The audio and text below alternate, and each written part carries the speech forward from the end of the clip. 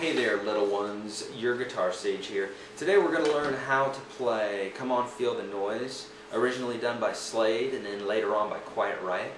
This is a killer tune that has a lot of changes in it, so a lot of chord movement, but we need not be scared. I'll walk you through it, okay? For those of you that can just watch what I'm doing here, then great. For those of you that need more help, then stick around. Um, might as well plug the book right now because this is a pretty, uh, a fairly complex um, chart. And I'm going to be, I'm going to try to get through all these chords, try to get through the strumming and all that stuff, but we only have 10 minutes. So I'm looking at my chart here on my screen, but of course, you're not looking at it. You're going to have to write down all these chords.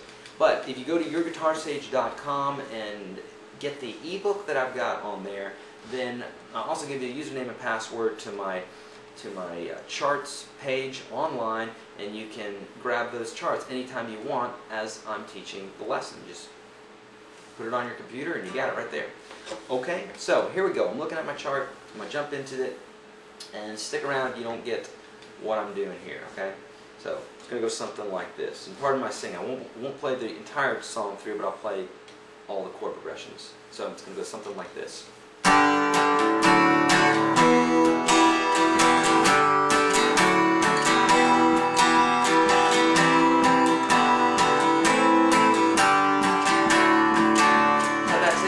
Let's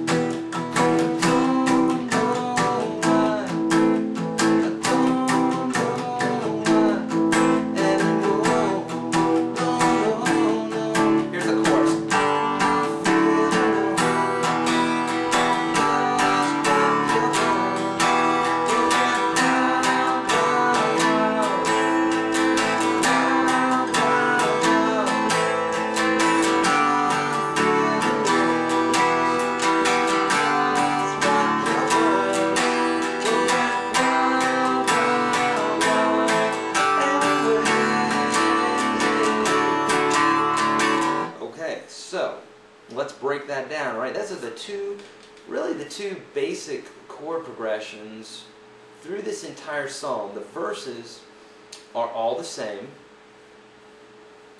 and the choruses, I venture to say, really the, the, the, choruses are all the same too. So really we are looking only at two basic chord progressions here. Now, at the end of the song, we have a double chorus, and then there is also what we call a turnaround in this song, which is after the second chorus. Um, I think it might have been a, like a guitar solo or a little bit of a break or something. Um, I have to listen to it again, but it's real similar to, well, I'll tell you what, it's the exact same as the intro. Okay, so really there's three parts. Intro, verse, and chorus. The turnaround after the second chorus is also the same as the intro. Okay, so here we go. Here are the chords. Um, we got this basic, um, we got this basic chord progression that's pretty, pretty prevalent through the whole thing. Okay, and it's going to go like this. Um, G for two beats, a D with an F sharp in the bass for two beats. And so the way I do that is grab my D, bring my thumb around here to grab that F sharp. Some of you may not be able to play that. It's difficult, especially for little hands. So, so it should be G, D with an F sharp in the bass, E minor for whole measure, then repeat that. And then we got a C for two beats, an E minor 7 with a B in the bass. So uh, E minor is like that, E minor 7 is like this, and E minor 7 with a B in the bass, we take our thumb and mute that low E string. Then an A minor, and then a G, uh, that A minor is for two beats, a G for two beats, and then a D for two measures. So it's going to go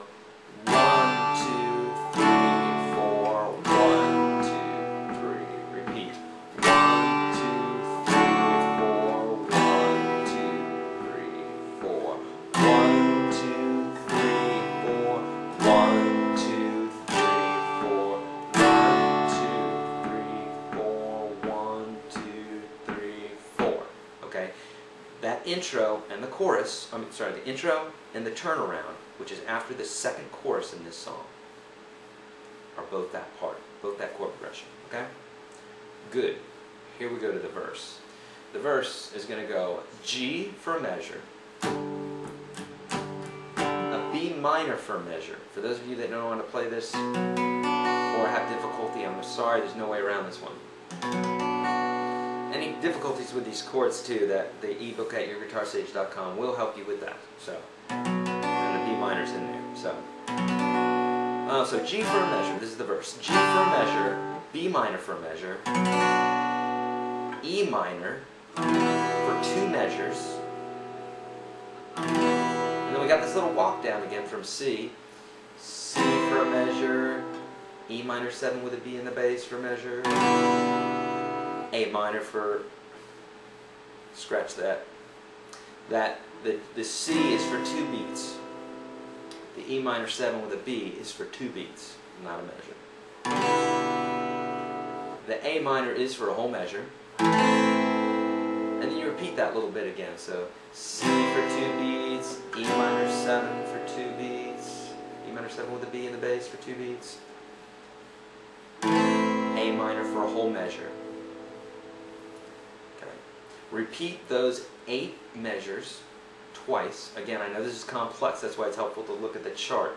So, yourguitarsage.com if you need it. Um, so you repeat that whole bit twice. Then you're going to end it with one whole measure of E minor, and then a whole measure of D. So, it's going to go like this. One, two, remember this is the verse.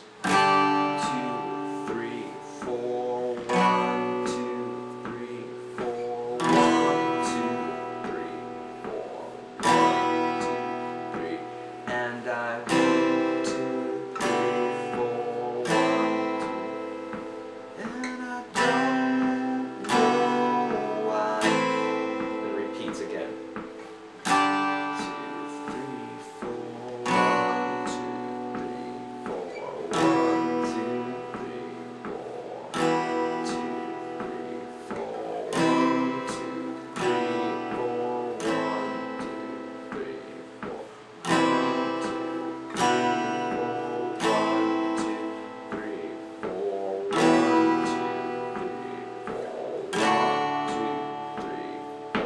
Okay, so here we go.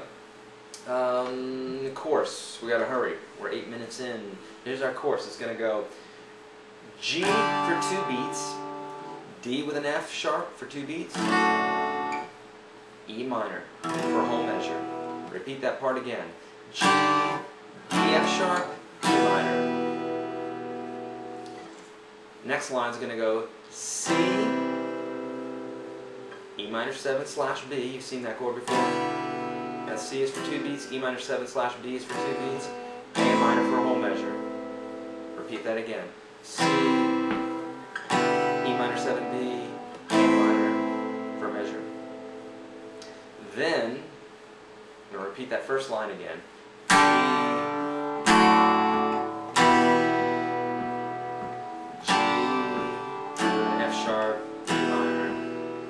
We're going to go do the same thing again, just like the intro, second line of the intro, which goes C, E minor 7 with a B in the bass, A minor, G, and two measures of D. So it's going to go. Here we go. Got to do this quick.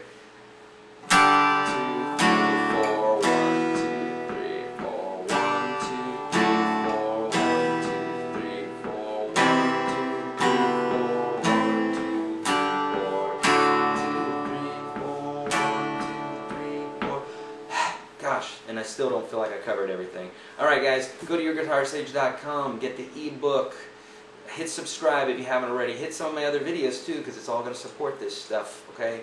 Together we change the world by learning yummy pop tunes.